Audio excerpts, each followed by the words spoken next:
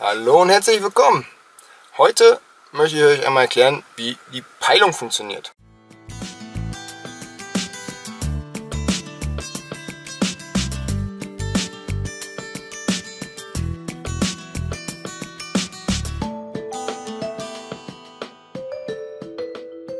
Ja, weil das Wetter draußen ein bisschen bescheidener ist und sehr windig und man sonst an, ansonsten nichts verstehen würde, ich das Ganze, äh, mache ich das Ganze jetzt hier im Auto.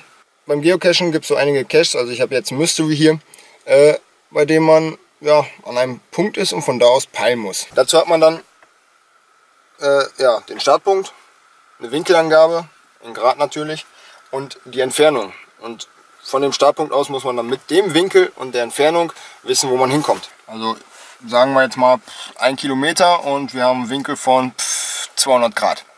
Dann müssen wir von dem Startpunkt aus gucken, wo dieser Punkt liegt, der jetzt auf 200 Grad ein Kilometer entfernt ist.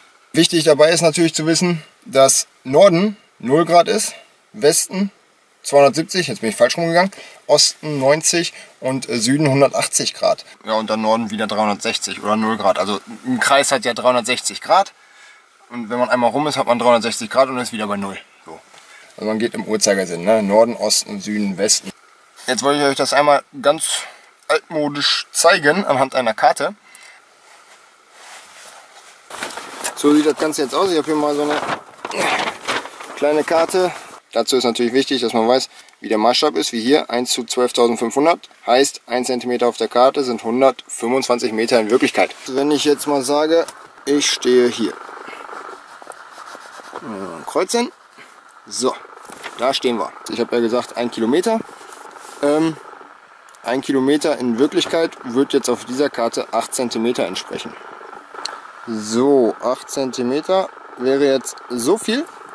Und jetzt kann ich mir hier quasi einen Kreis ziehen. Wenn man jetzt sieht, hier so ganz leicht angedeutet, da geht der Kreis her. Also irgendwo auf diesem Kreis befindet sich jetzt dann die gesuchte Stelle. Alle Karten sind so ausgerichtet, dass Norden oben ist. Wenn ich jetzt sagen würde, wir müssen von diesem Punkt, äh, sagen wir mal 180 Grad ein Kilometer entfernt, äh, in ein Kilometer Entfernung hingehen, dann 180 Grad ist jetzt hier bei easy, einfach nur runtergehen, zack, bis ich an dem Kreis bin. Das wäre jetzt hier, ah, da sieht man es ganz leicht. Und dann wäre ich jetzt da. Also 0 ist oben, 180 hier, wir gehen natürlich im Uhrzeigersinn. Heißt, 90 Grad gehe ich jetzt hier rum und dann wäre ich da. Sekunde. So, und dann wäre der Punkt da. Bei 270 Grad, also ne, 90, 180, 270 wäre ich jetzt da. Und so kann man das halt dann äh, anhand einer Karte machen. Ja, ich hoffe, ihr habt es verstanden.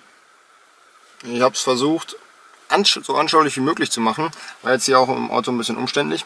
Viele GPS-Geräte können es automatisch, wenn man an dem Standpunkt ist, äh, kann man da meistens auf, eine, ähm, ja, auf einen Menüpunkt gehen, Peilung. Und dann gibt man auch Grad äh, und Entfernung ein und dann sagt er einem, wo man hin muss. Oder es gibt äh, für Smartphones ähm, bestimmte Apps, da kann man das auch machen. Die rechnen dann das sofort aus. Da braucht man noch nicht mal an den Startpunkt gehen. Da kannst du die Koordinaten eingeben und dann sagen, jetzt rechne mir dann mit der und der Entfernung, dem und dem Winkel äh, den neuen Standpunkt aus. Kann man dann schön von zu Hause machen und sofort zum Ziel hingehen. Ganz easy. Aber ich finde, wenn man so ein bisschen verstanden hat, wie das geht, mit so einer Karte, ist das eigentlich irgendwie cooler. Also es gibt auch noch verschiedene Peilungssysteme, es gibt auch noch Kreuzpeilungen, keine Ahnung. Aber das äh, war jetzt einfach halt das, ähm, ja, ist so das, das Grund, die Grundpeilung. Ne? Also Startpunkt, Gradangabe, Entfernung, wo komme ich an.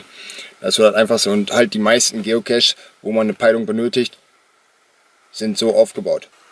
Ja, so, das war das. Viel Spaß beim Peilen. Macht's nach, probiert's aus und gebt einen Daumen hoch äh, Daumen hoch,